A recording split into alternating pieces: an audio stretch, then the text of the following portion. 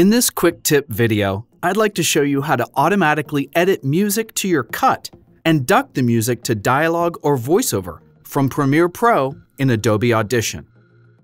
I create a ton of content that is simply voiceover and a music track. Doing an audio mix and editing music to dialogue is a few extra steps. Plus, I like to add ducking, which is lowering the music when the voiceover is speaking and raising the audio when there is no voiceover. Adobe Audition has an ingenious solution to automatically edit music using AI. It's called Remix. Here's a Premiere Pro sequence. I'll set the music to the maximum volume I'd like it to have when there is no voiceover speaking, in this case around minus 12 dB. I'll select the sequence and send it to Audition.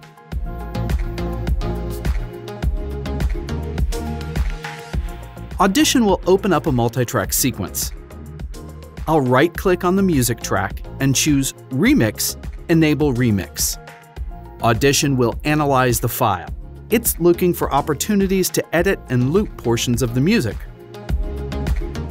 There are remix options available now for the track if you need to dial in specific durations or loop lengths, but I've actually never strayed from the defaults since it works so well. Next, I'll go to the music track. A remix icon is now at the end of the waveform. I'll simply drag it to the length I need, in this case the end of the program. Next, in the Essential Sound panel, I'll tag the music track as music and the voiceover as dialogue. I'll check the ducking box to turn it on. I'll leave it set to duck the music against the dialogue. Remember I set my maximum value already to minus 12 dB. When the voiceover is speaking, I'd like the music to decrease to around minus 20 dB, so I'll set the duck amount to minus 8 dB. The default fades amount of 800 milliseconds is a bit too slow for me, so I'll set that to 500 milliseconds or half a second. I'll export this session to Premiere Pro.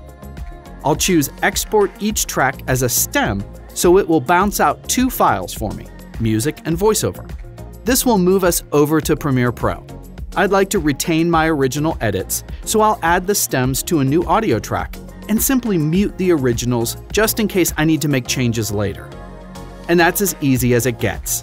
It took me longer to explain it than it actually takes real time. And I hope these quick tips save you tons of time as well. FX Factory offers a huge selection of great effects, and if you don't have them yet, I suggest you go try them out at fxfactory.com.